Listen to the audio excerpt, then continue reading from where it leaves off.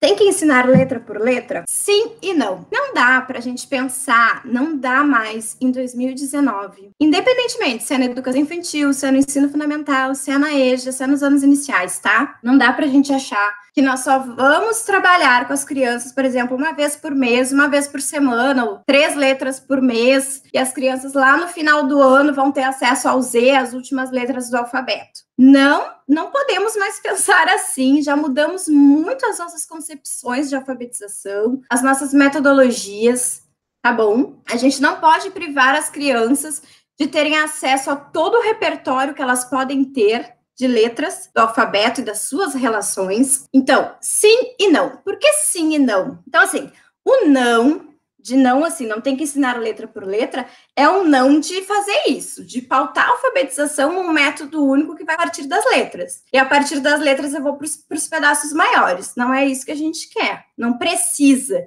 Isso pode estar relacionado dentro de um trabalho que está estudando palavras, que está estudando frases, que está estudando textos, que está estudando todo um contexto, tá bom? Só que sim, porque a gente tem que dar às crianças uma base certo? Por que, que a gente tem que ensinar a ordem do alfabeto para as crianças? Porque a gente tem que dar uma, uma base sólida para as crianças consultarem.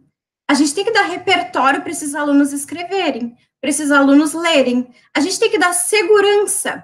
A gente tem que mostrar para aqueles alunos que usando aquelas letras, que fazem parte desse sistema de escrita alfabética, eles podem formar palavras, eles podem pertencer à cultura escrita, eles podem ler, eles podem escrever, tá? Só que eu tenho que dar condições dos meus alunos pensarem. A memorização é super importante. E eu tenho que dar condições dos meus alunos pensarem também que eu não tenho que só pensar sempre a partir do A. A, B, C, D, E, F, G. Não. Eu também posso ter um repertório que as minhas letras, olha lá o alfabeto, que as minhas letras estejam misturadas, mas eu sei quais são. Eu sei qual é o meu repertório finito de letras.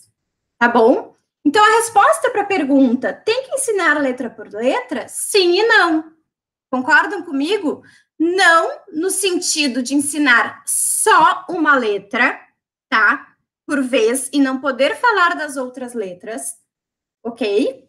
E sim, no sentido de dar um repertório de memória para as crianças, de dar um repertório concreto para que elas possam se apoiar, de dar um repertório finito para que elas possam identificar entre letras, números e desenhos o que são as letras e o que essas letras representam, o que essas letras notam, né?